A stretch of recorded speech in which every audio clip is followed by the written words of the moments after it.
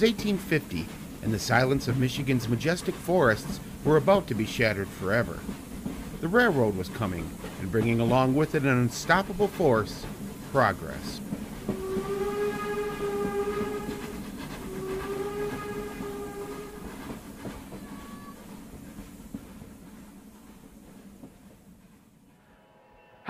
My name is Chris Troy, and on this edition of Moment in History, we'll be taking a look at the railroad and the way it helped develop the St. Clair County that we know today. Funding for Moment in History is provided by Streamline Historic Services, helping clients through modern technology with old fashioned customer service. See how Streamline can make your history work for you. Moment in History is a presentation of St. Clair County RESA with your host, Chris Troy. I'm here at the Henry Ford Museum in Dearborn, Michigan to take a look at the Allegheny locomotive. Now, this locomotive was one of the largest of its time, built in 1941, weighing over 600 tons. Now, the locomotives in St. Clair County weren't even half the size, yet the impact they made on the county was just as great. Before I began my journey into the history of local railroad, I decided to find out exactly what makes the old steam trains run. In order to do this, I stopped by the St. Clair County Farm Museum in Goodells, Michigan, and talked with steam engine experts and preservationists Arthur Cooney and Jim Nolan. Now, while the county's farm museum does not have a locomotive on site, they do have antique farm machinery that operate using the same principles as the old steam locomotives. Mr. Cooney was nice enough to give me a tour of the 1918 Model 1965. The first thing we need on a steam engine is water and heat. So this whole big assembly here is a boiler. And one of the first things we do is fill it up with, with water. Now we can't overfill it or anything, so we have a gauge right there. It's called a sight, sight glass, and it will tell us how much water is in that boiler.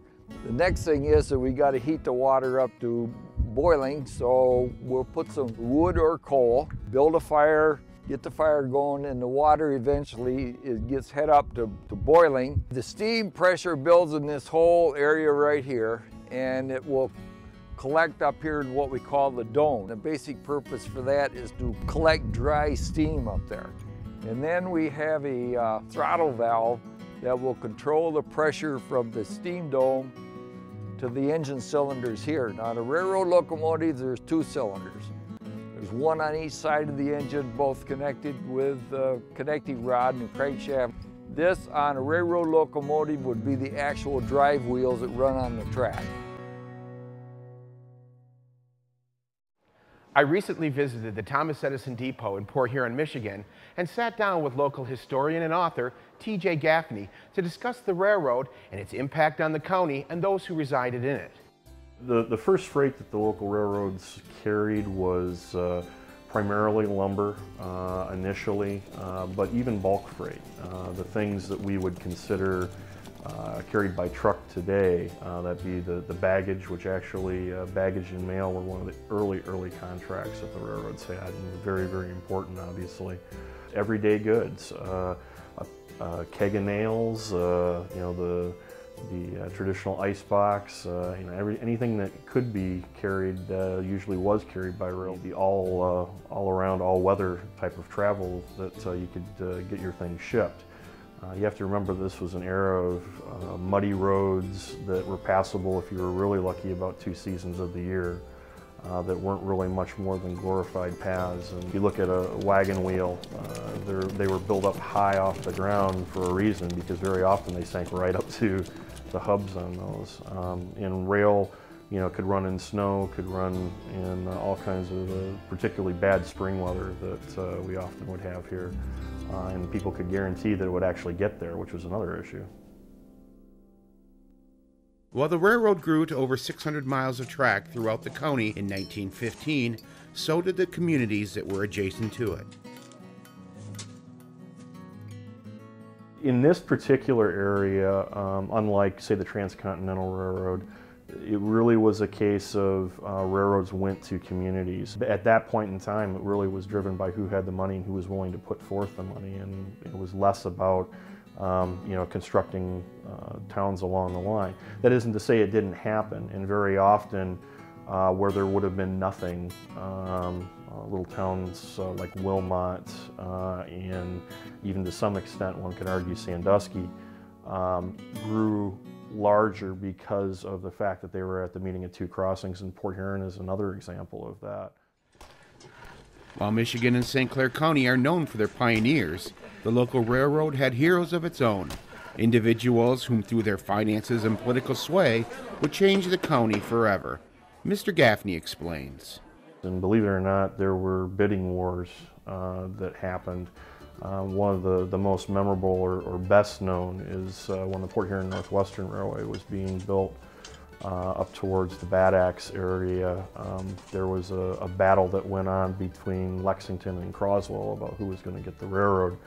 And uh, it came down to the influence of one gentleman, Nelson Mills, uh, called Wildman Mills back in the day, who had a real hatred of the general Lexington area and decided that he was going to put his money and his backing behind uh, the railroad going through Croswell, and that's why the railroad went through Croswell.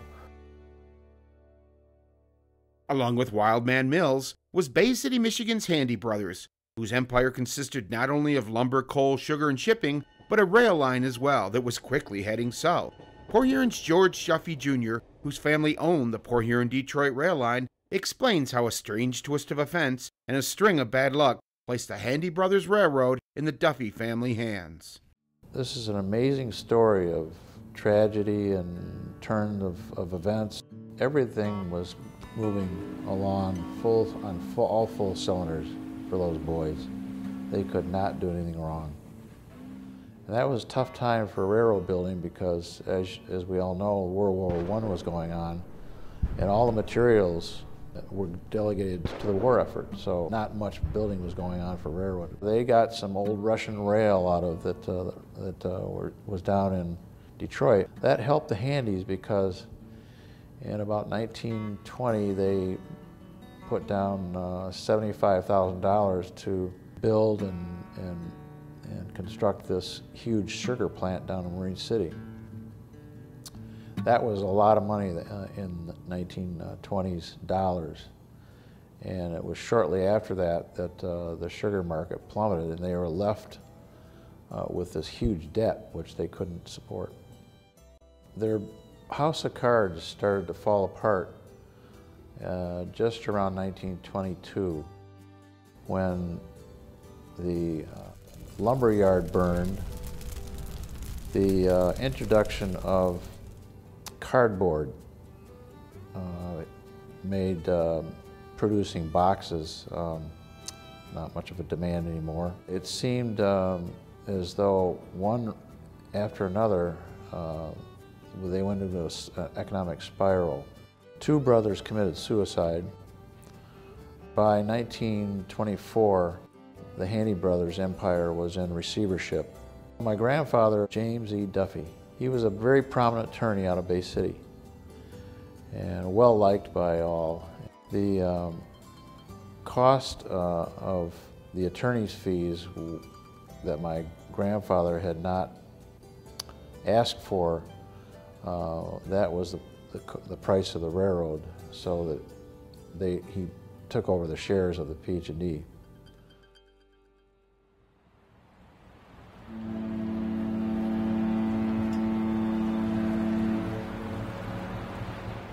Before there was the St. Clair Tunnel, there were the mighty rail ferries that carried the railroad's freight across the St. Clair River.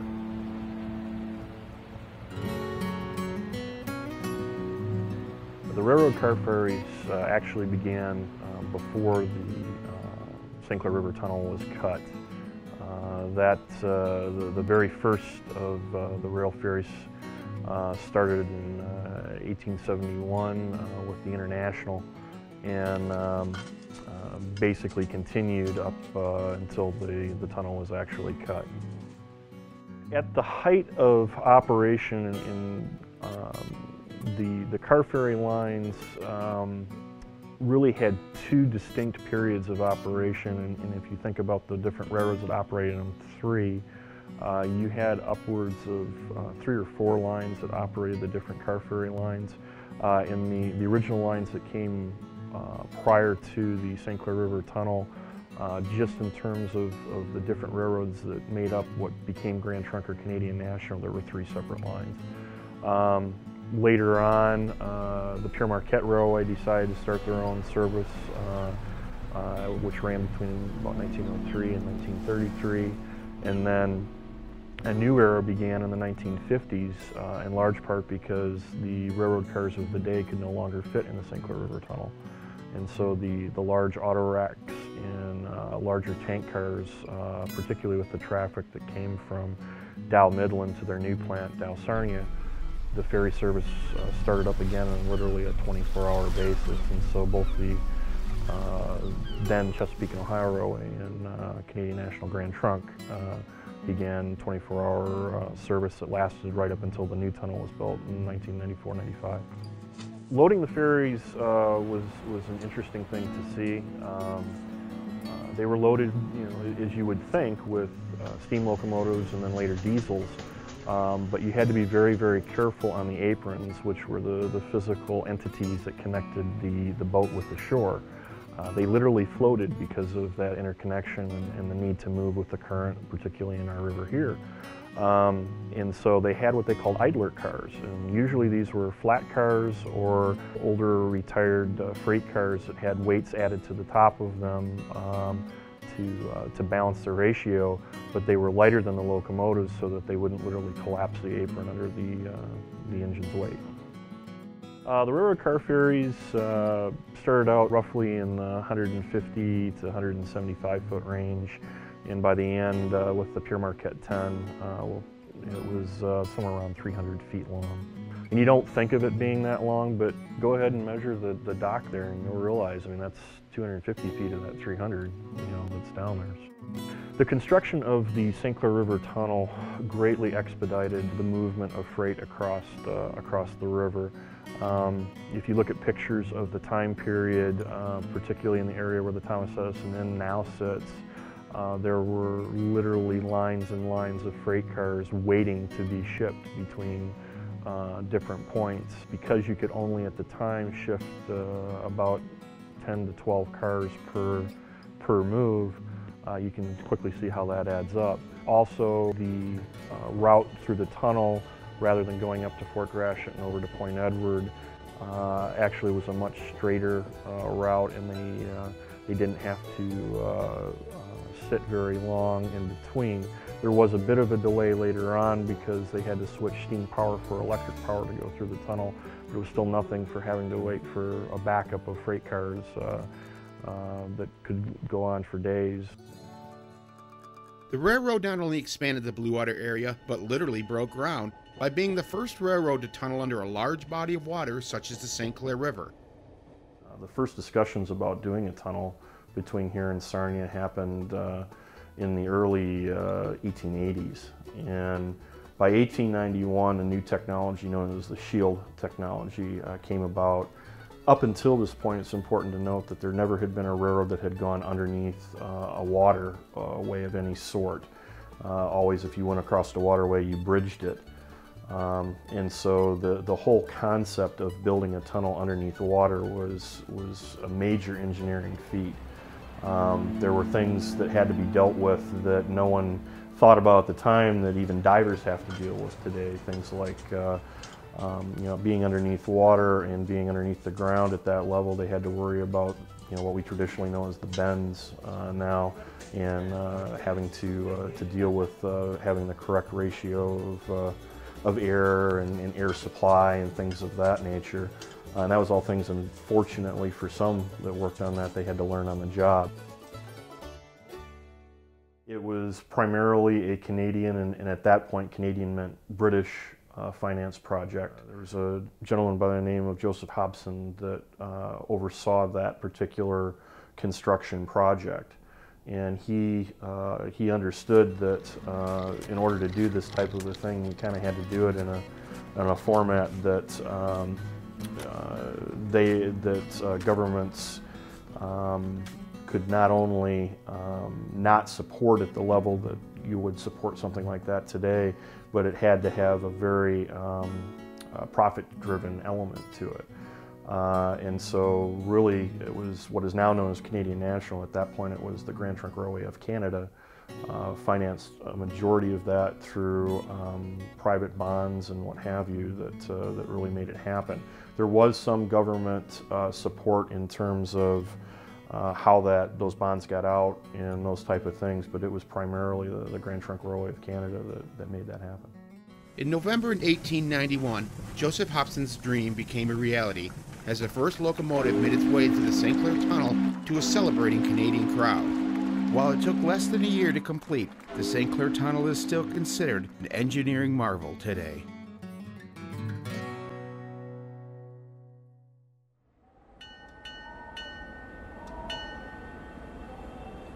The St. Clair County area not only hosted the locomotives that we think of today, but other types of trains as well that kept the Blue Water area on the move.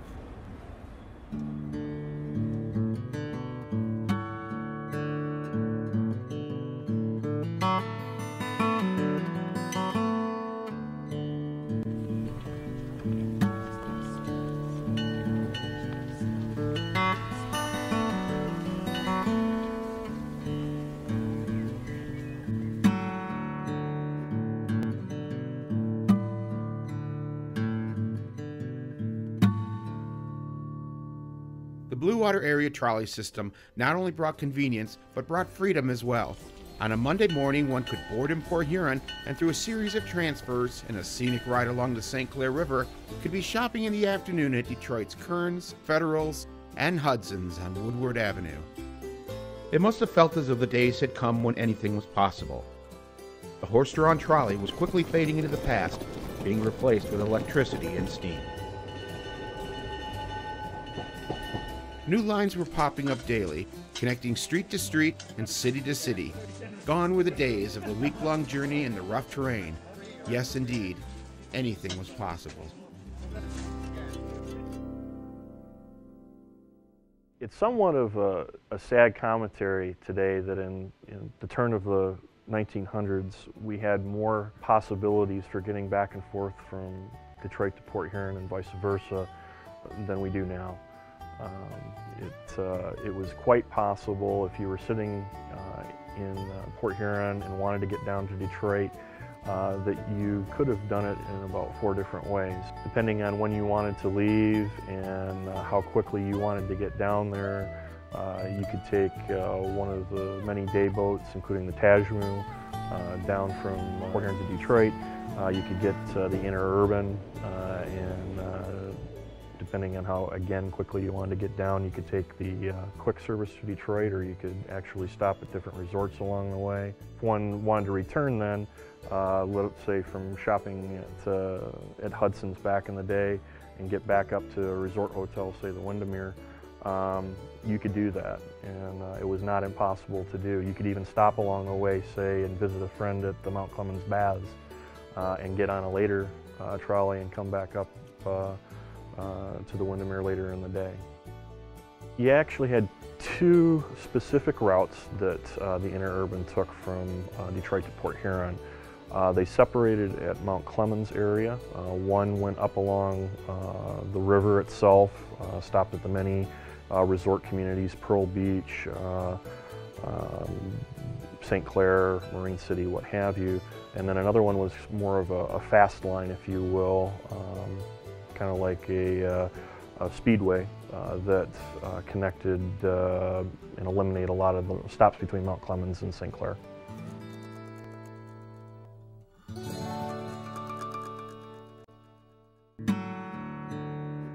As they say, all good things must come to an end.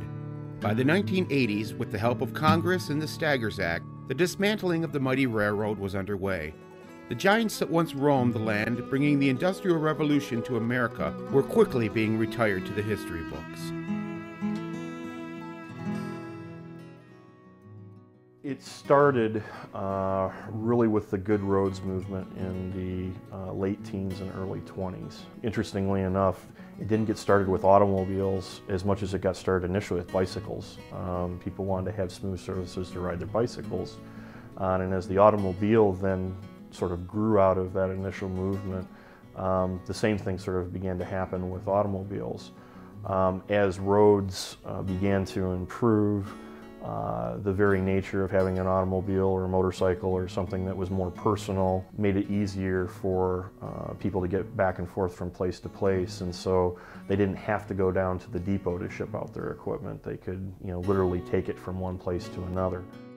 With the efforts of county-wide museums, a few landmark resources have been preserved, yet there are still many that face extinction due to fire, land development, and the lack of funds to maintain their integrity. One of the artifacts that we have in this community today um, is the Thomas Edison Depot Museum and the baggage car actually that we're in right now.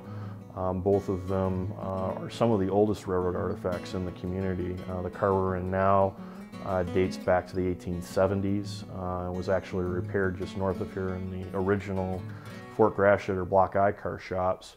Another railroad artifact proudly displayed in St. Clair County is the Detroit Edison locomotive found in Marysville Park. The engine was donated by Detroit Edison and still remains a destination spot for families from all over the county. George Duffy recalls his family's efforts to help save this railroad treasure.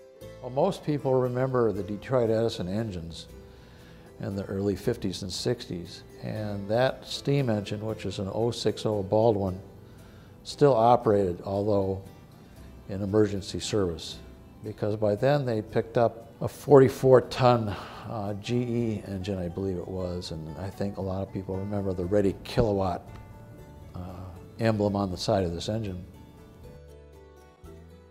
The Detroit Edison decided to donate the engine to the city of Marysville. The reason I remember it is that we had to find a way to move that engine off the main line and into the park. So we took a section of rail out of the main line and rebuilt a spur off the main line and into the park. And this was quite an operation because we had to use railroad ties and spikes and joints and put this spur right up to where the, the engine presently sits. And it was a big affair. We had dignitaries and Detroit Edison folks and the mayor of Marysville and ribbon cutting and people were pretty uh, impressed by this engine. Everybody toasted and had welcoming speeches and the section gang took up all the rail and, uh, and put the uh, main line back together again.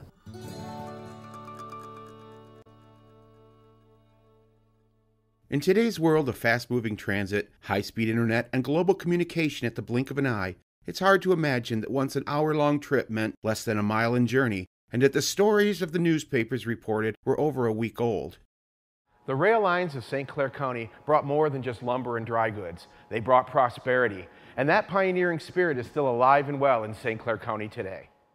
I think one of the things that needs to be um, uh, understood is that while we see ourselves, for obvious reasons, because of our connection with Lake Huron and the St. Clair River and the several other rivers that run through St. Clair County, the maritime capital, um, really Port Huron in particular and several of the communities in St. Clair County, um, they might exist, but they wouldn't be at the same level that they are. They wouldn't have grown into the communities that they did without the railroad.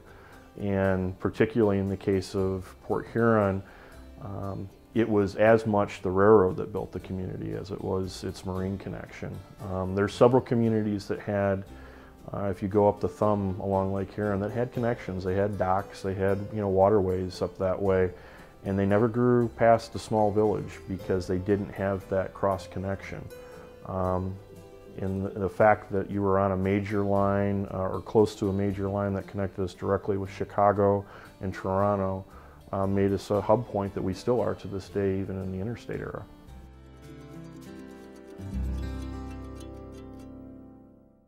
It was 1850, and the silence of Michigan's majestic forests were about to be shattered forever. The railroad was coming, and bringing along with it the blue water area we know today. I would like to thank the Henry Ford, St. Clair, Port Huron, and Bay City Historic Museums and remind you that history lives in all of us.